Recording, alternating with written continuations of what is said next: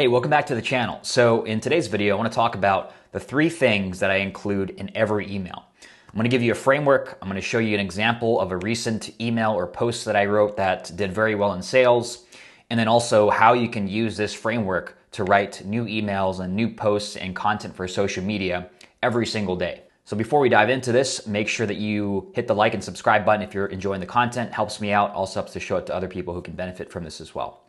And so, with that said, let's jump into my computer right now. On the screen, you are seeing a framework, and these are the three things that I make sure that every email and social post that I make has these three elements or these three things here. So, um, this is the hand raiser framework, and I call hand raiser is basically a post or an email that you send out that gets people to raise their hand and say, Yes, I want what you have to offer, I want what you're talking about in this post. So, um, this is kind of the framework that I use for my daily emails, my daily social posts that are designed to generate sales and designed to generate people who are interested in my different offerings. So, the way that this framework works, the three things, um, I break it down to this framework called VBO, and that stands for value, bridge, and one thing. Now, the order of V and O can switch. Sometimes the bridge can come first, and then sometimes the value can come first. The order of that doesn't really matter. The main thing is that you include all of these three elements in every email or social post that you send that you want to generate sales for you. So, the first thing or the first element is V, right? And this is value. And most people, when they think about value, they just think about how to posts, but it doesn't need to be how to. It can be an insight or wisdom or a lesson that you share that gets the person reading it to think or behave slightly differently, right? Doesn't need to be super long either. Like it's not about long content because that doesn't equal more value we want to create these aha moments for our reader. So we want them to read through the value post or the, the value part of the post and say, ah, oh, I get that, or that makes sense to me, or I never thought of it that way. So value is, remember, an insight, wisdom, or lesson that you share that gets the reader to think or behave differently. Second thing is the bridge. And the bridge is a story, analogy, analysis, example, or metaphor that makes the aha moment easy to understand. And don't worry if you're not getting this right now, I'm going to show you an example. I'm going to break down what pieces are the V and the B, and then also the O, which is one thing. Now, the one thing is the call to action, right? One action that you want to take or that you want the reader to take after reading your post or email. So, some examples read a sales page, click to an order form, consume a piece of content, right? My rule is that this one thing should always lead the reader down the path to buying. So, it should lead them down the path to buying with you. If it's leading to a piece of content, there should be a button on that page for someone to check out or buy an offer that you have. And also, this one thing or the, the call to action should be positioned to talk about what the person wants, the reader wants, not about your product, right? So, some examples are like, click here to buy my product, or click here to buy this product or, or this program. We don't want to say that. We want to position the one thing around something that the person or the reader wants. So let's take a look at an example here. This is one that I sent out recently on January 5th. And this one brought in three new clients on my email side hustle program, which is right around $7,500 in revenue.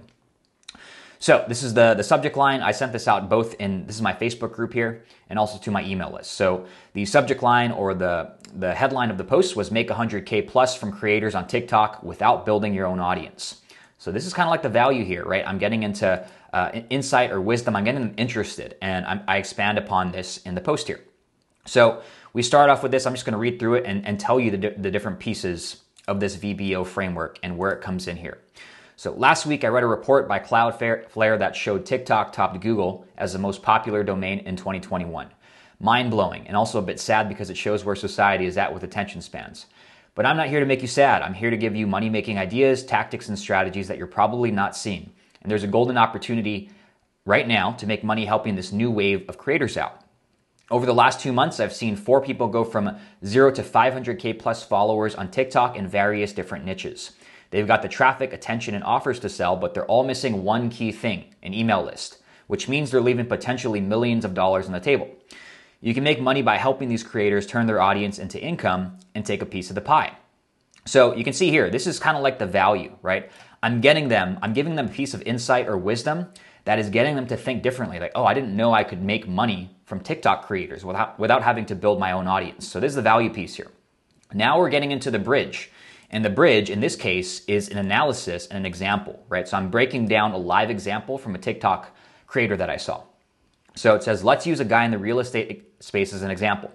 He has 1.1 million followers in a 347 uh, course. Let's say we just got 10% of those people onto an email list. That's 110K subs.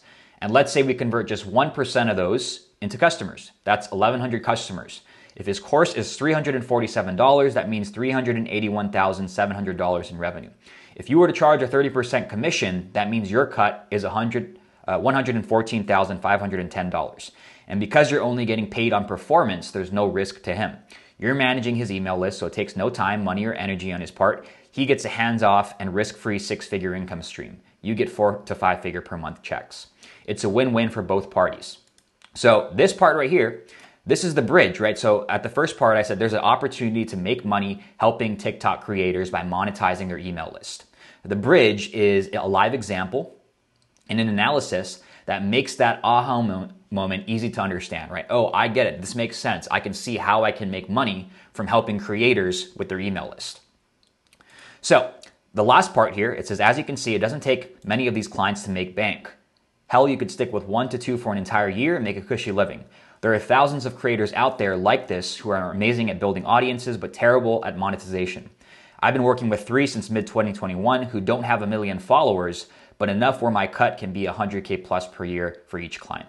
And by the way, you can apply the same strategy to creators on YouTube and Instagram too, wherever folks have an audience but no email list or a shitty one.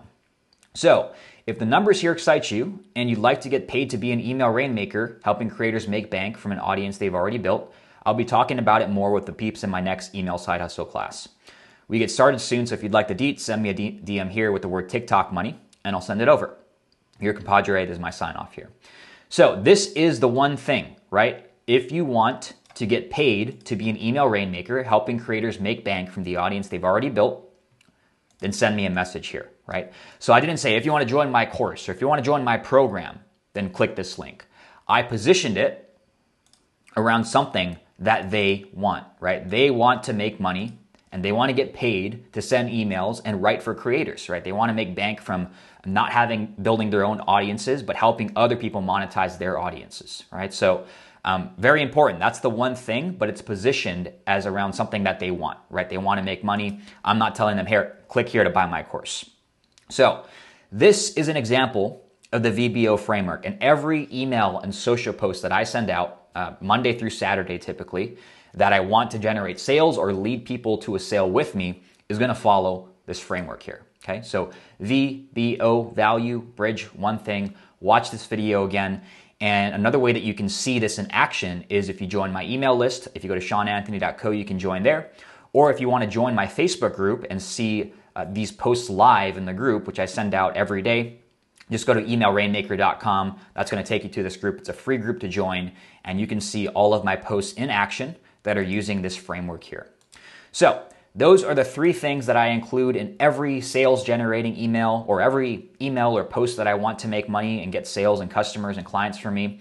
Um, use this framework, apply it to your emails and your social, social posts so you can start making more sales. And yeah, I hope this is helpful for you. This is a framework that I use every single day and will help you write money making emails and social posts every day as well, whether it's for yourself, for your own offers, or for clients.